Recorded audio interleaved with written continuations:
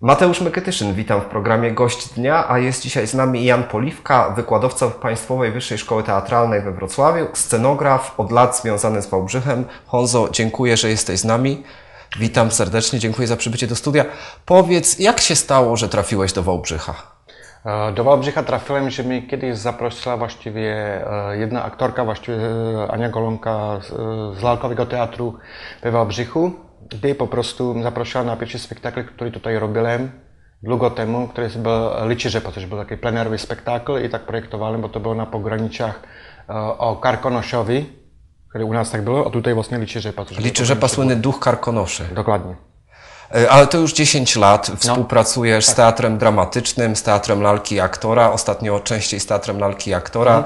E, Robiłeś e, scenografię do słynnego spektaklu Iwona Księżniczka Burgunda. Powiedz mi, jak ci się pracuje w Wałbrzychu i dlaczego tak tutaj wracasz? Bo z tego, co się orientuję, to nie zawsze powodem są pieniądze. Nie zawsze zda zdarza się, że wybierasz niższą stawkę wałbrzyską tylko dlatego, że w tym mieście. Dlaczego? No bo to miasto po prostu ma swój klimat i swoją historię. Uważam, że po prostu taki fenomen właśnie jakby jak w Polsce, jak właśnie sobie Śląsk. Uważam, że jeżdżę po całej Polsce i uważam, jakby, że Śląsko jest, mnie nie bardziej się odpowiada, bo myślenie jest podobne, uważam, tak jak u Czechów. I z tego względu.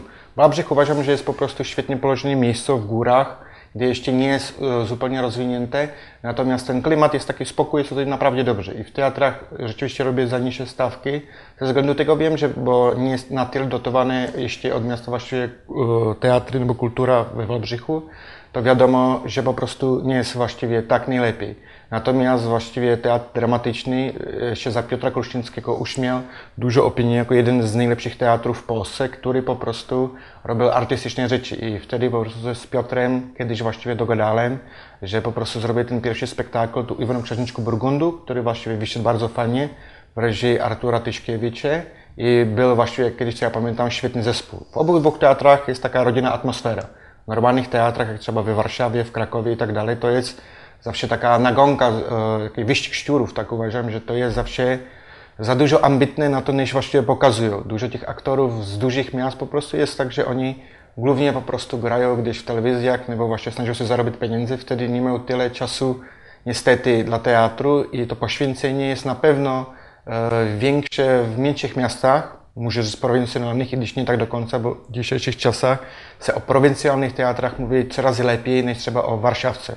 Bo wiadomo, że Warszawka bardziej robi, jakby tak rzekł, haltury, niż po prostu coś naprawdę ciekawego. To są wyjątkowe jakoby rzeczy. E, Ale też nie unikasz innych scen, bo pra- współpracujesz z Krystianem Lupą, robiłeś scenografię do słynnego spektaklu Persona Merlin, jeździsz do Krakowa, Poznania, e, Warszawy. Czy w Polsce w Twoim zawodzie można zarobić więcej niż w Czechach?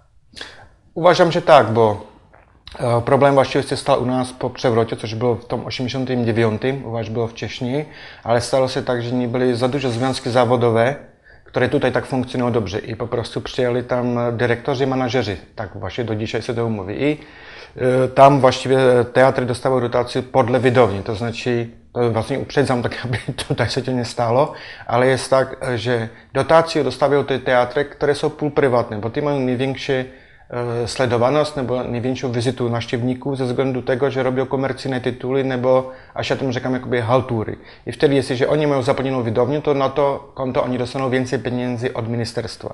Ale co roku po prostu jest i gorzej, a tak na dobrą sprawę te teatry już sobie nie dadzą rady e, jechać z, z ministerialnych ze względu właściwie tego, że mają tak na utrzymanie, ale już nie mają na spektakl. Niestety jakby w Polsce powoli się zaczyna dziać to samo. Ufam, że to zatrzyma i że po prostu związki zawodowe zadziałają tak, aby nie doszło do tego, co się stało w Czechach, bo nie jest po prostu prawda, że teatr na sobie nigdy nie może zarobić. Jeśli na sobie zarobi, to nie mówimy o teatru, ale mówimy o, o prywatnym teatru, który robi e, sztukę, właściwie, którą musimy nazwać komercyjną. Uważam, że właśnie jest niedobrze tutaj w Polsce, że wyzdwigują właśnie teatry, jandy i tak dalej, bo to, co ja właściwie jakoby wiedziałem, nebo słyszałem, to po prostu jest dokładnie ten sam przykład tego, że jeśli się pójdzie w Polsce tak po, po przykładzie Krystyny Jandy, to się stanie dokładnie tak, tak samo po prostu, co w Pradze, nebo v Čechách, že to będą właściwie halturnicze teatry. I człowiek, który po prostu chce zobaczyć coś wartościowniejszego, i gdyż rozumiem, że po prostu nigdy to jest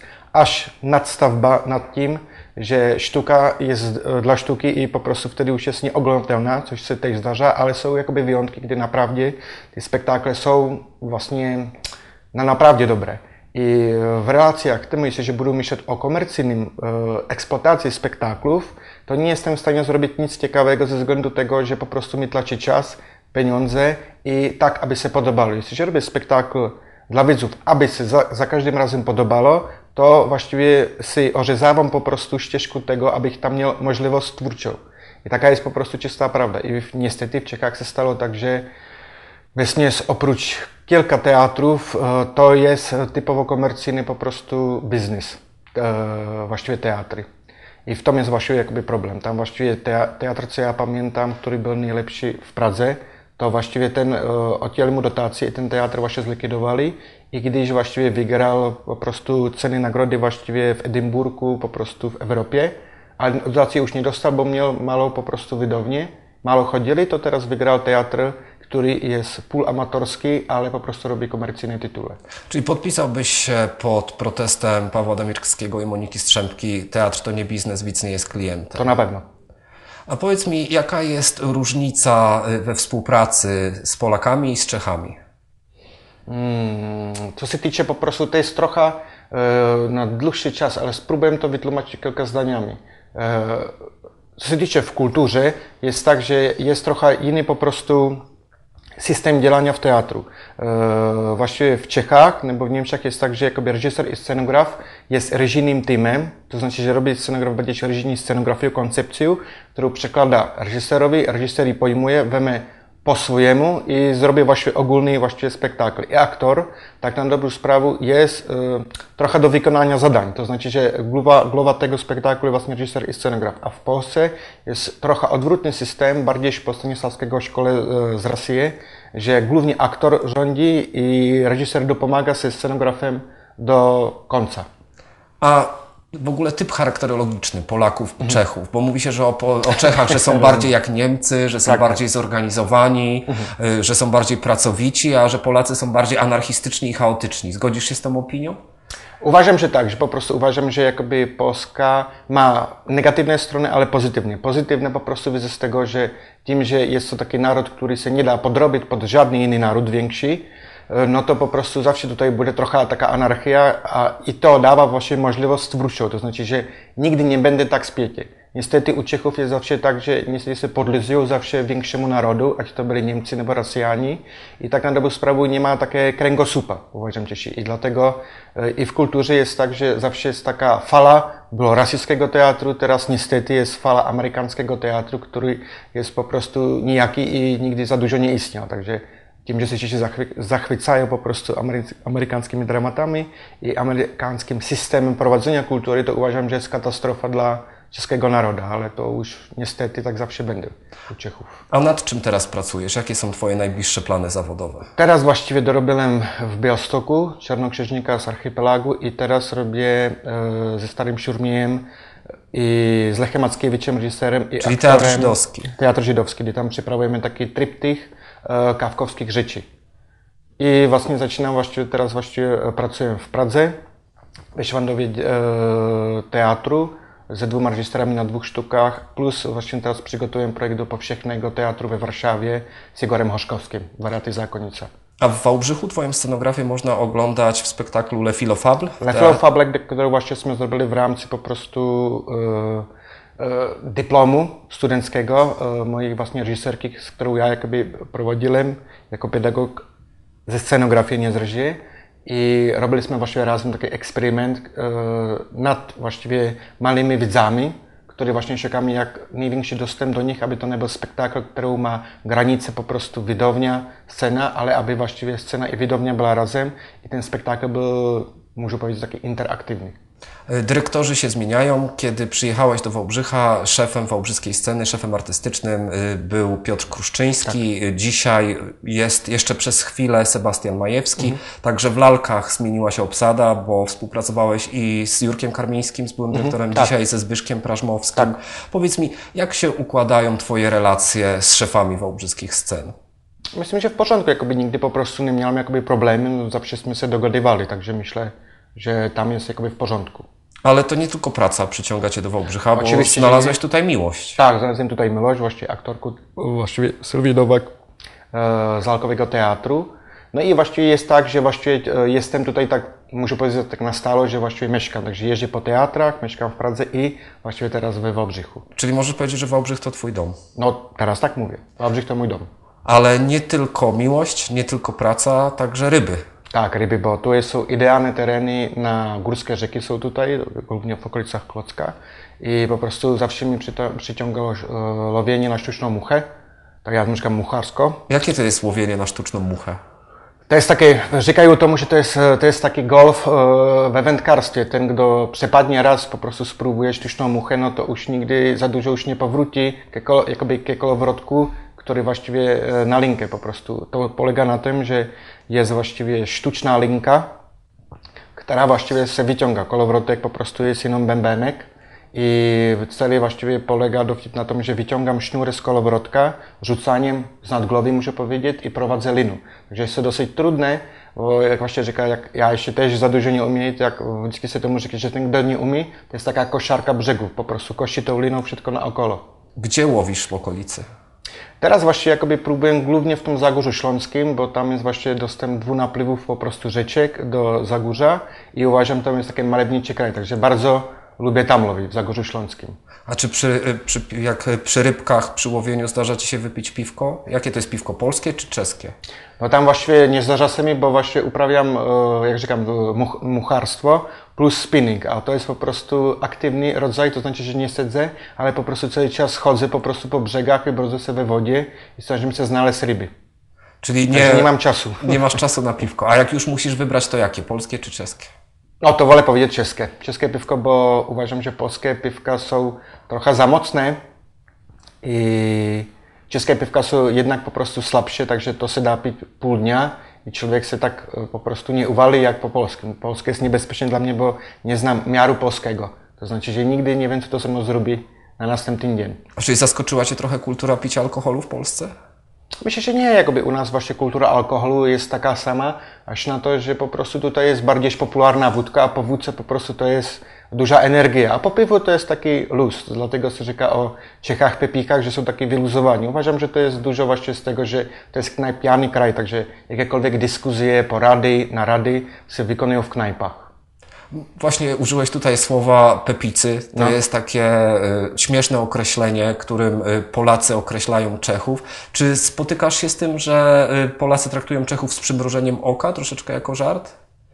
Jasne, że tak po prostu, bo to, to wychodzi, właśnie nie wiem skąd się za ta nazwa, uważam, że to wzało, że była taka dzielnica w Pradze, która się nazywała Bo Józef. Pepa to Józef. To jest tak, zdrobnienie od imienia tak, Józef. Tak, tak. I uważam, że taki jakby właściwie Żyżkowski Pepik, no bo Pepiki się rzeczywiście u nas był pojem gdzieś w 30 latach i było to w takiej dzielnickiej po prostu, e, dzielnickiej cztwarti, to znaczy... Czyli dzielnicy czy dzielnicy po prostu, która była na Żyżkowie, która była taka ekstremalna i tam po prostu był taki żargon i tam właśnie na Józef zawsze właśnie mówili pepiki. Uważam, że z tego to wznikło, bo to było bardzo popularne i we filmach i tak dalej z tej dzielnicy właśnie robić okolice. Znasz tą słynną Żyżkowską knajpę u Wystrzelanego Oka? No oczywiście, to robił mój kumpel po prostu, bo to był scenograf Welisiek, tak, Welisiek się nazywa i ten robił właśnie animowane filmy i on właśnie robił wystrój właściwie tej knajpy do takiego husickiego, wojowniczego nastroju. Powiedz mi na starość, gdzie chciałbyś osiąść? W Polsce czy w Czechach? Stara ja bych chciał usiąść po prostu, mi się podobało w górach, to znaczy idealnie na granicy czesko-polskiej. Tak by się mi tak podobało. Bo uważam, że tutaj rejony, które są właśnie okolica Klocka, tam gdzie byli rejony właśnie wojskowe, są po prostu wspaniale i uważam, że tam warto po prostu zamieszkać. Na granicy polsko-czeskiej był dzisiaj z nami Jan Poliwka, scenograf, wykładowca Państwowej Wyższej Szkoły Teatralnej we Wrocławiu. Honzo, dziękuję za przybycie do studia. Zapraszam do oglądania programu Gość Dnia. Do widzenia.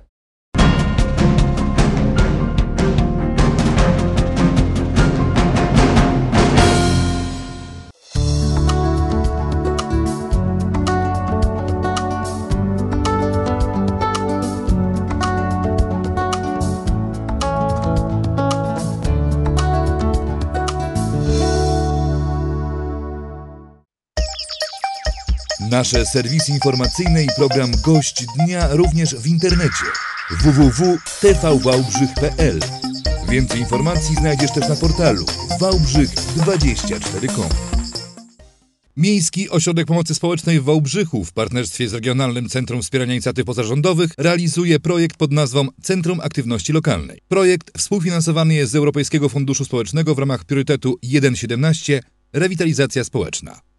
Zajęcia komputerowe, gimnastyka, kurs tańca, nauka języka angielskiego. To tylko część oferty, z jakiej bezpłatnie mogą skorzystać seniorzy w Centrum Aktywności Lokalnej w Wałbrzychu. Na zajęciach komputerowych seniorzy spotykają się średnio dwa razy w tygodniu. Przez zabawę uczą się m.in. obsługi programów graficznych, pisania dokumentów i poruszania się w internecie. Przede wszystkim no już umie włączyć, a ja tego nie umiałam, bo no, po prostu nie interesowałam się tym.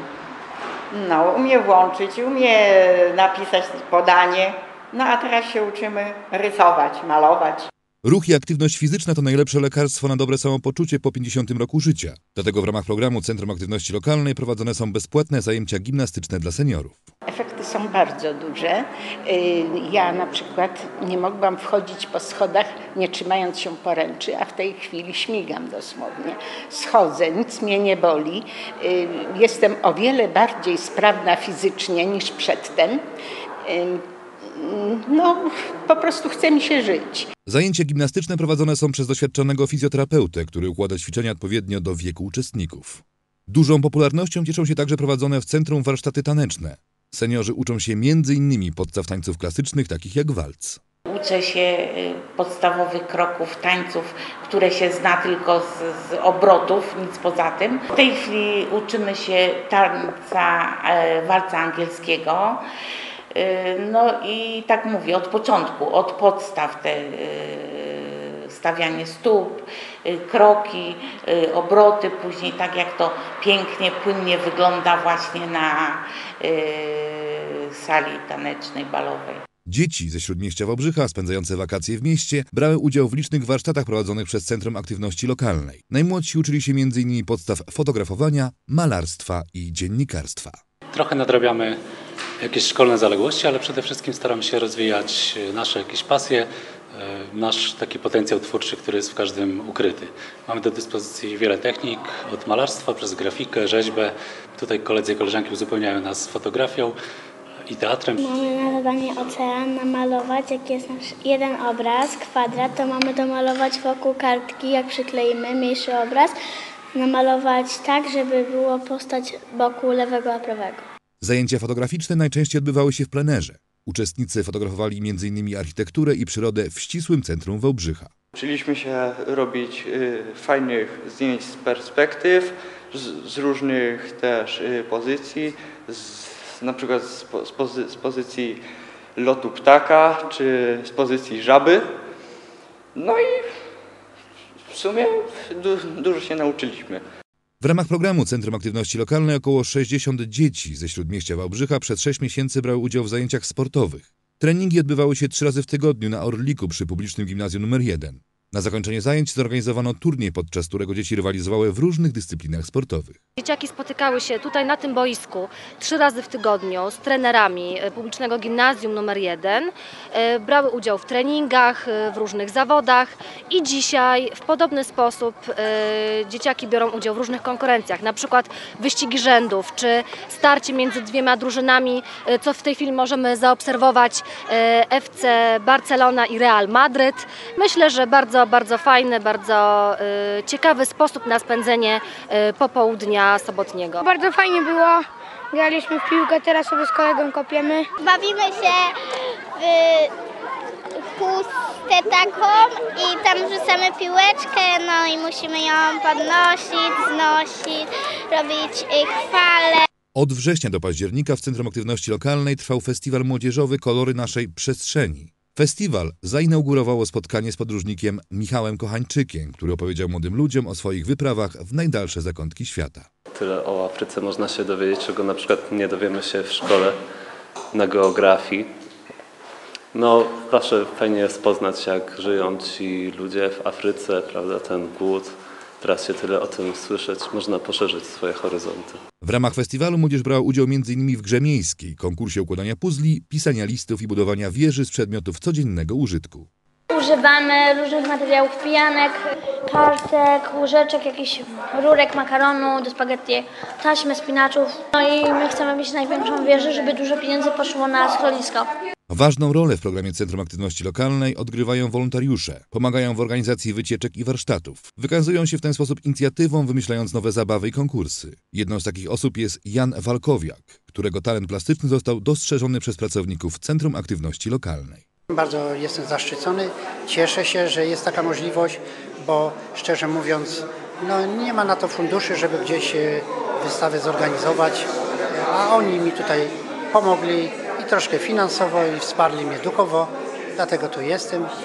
W ramach programu Centrum Aktywności Lokalnej członkowie klubu Młodego Rodzica razem z dziećmi biorą udział w zajęciach edukacyjnych. Program ma zachęcić młode matki i ojców do aktywnego spędzania czasu ze swoimi pociechami. Dlatego dla członków klubu zorganizowane są bezpłatne wyjście do kina, teatru i na place zabaw. Prowadzone są także warsztaty teatralne, na których rodzice i dzieci uczą się m.in. tworzenia lalek do spektakli. Tu jest właśnie taka duża rzepa, która będzie brała udział w przedstawieniu, a panie wykonują pos poszczególne postacie, ponieważ jest tu dosyć dużo postaci. Tu mamy tą bajkę e, rzepka, jest dziadek, jest babcia, jest wnuczek, jest e, piesek, kotek, kurka, gąska, e, tu jeszcze jest bocian, żabka i kawka. Moją postacią jest kotek. I Teraz właśnie dokończam ogonek, główka zrobiona, brzuszek zrobiony. No a później będziemy dokończać, tak jak pani mówiła, malować. Do klubu Młodego Rodzica mogą zapisać się zarówno mamy, jak i ojcowie, którzy nie ukończyli 25 lat i mieszkają w Śródmieściu Wałbrzycha. Zajęcia są oczywiście bezpłatne. Miejski Ośrodek Pomocy Społecznej w Wałbrzychu w partnerstwie z Regionalnym Centrum Wspierania Inicjatyw Pozarządowych realizuje projekt pod nazwą Centrum Aktywności Lokalnej. Projekt współfinansowany jest z Europejskiego Funduszu Społecznego w ramach priorytetu 1.17 Rewitalizacja społeczna.